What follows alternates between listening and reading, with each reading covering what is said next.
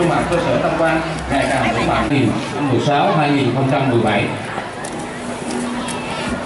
Pin, no ID on the track, let the story begin. Begin. Begin. I got it from my daddy.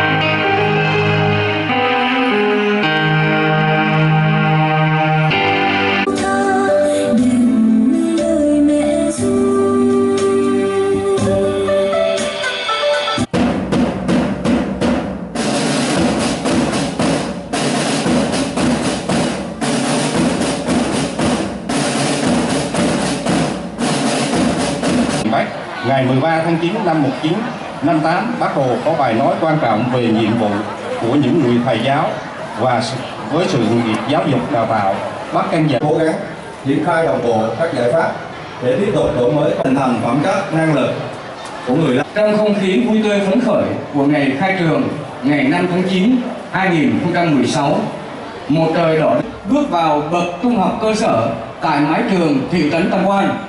Chúc các em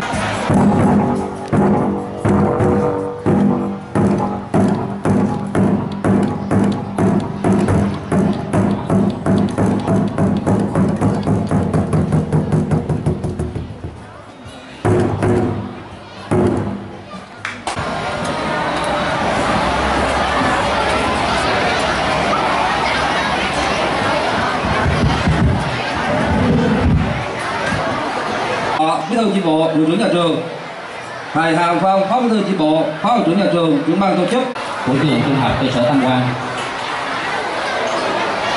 Thì trong cái năm học 2000 nữa một chấp hành nghiêm các quy định của ban tổ chức giải điều lệ thi đấu. Hai điều hành giải đúng luật thi đấu hiện hành. Ba điều hành giải với tinh thần công minh trong sáng vô tư và trung thực. Xin thề xin thề xin thề viên. Và bạn động viên trường lớp tiếng Anh ba, em xin phép đại diện lớp cho toàn thể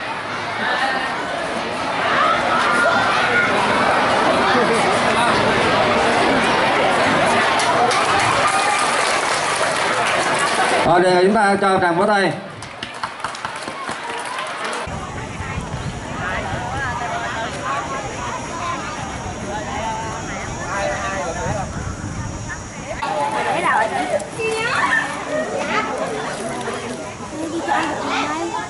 Đó là nó con mua đây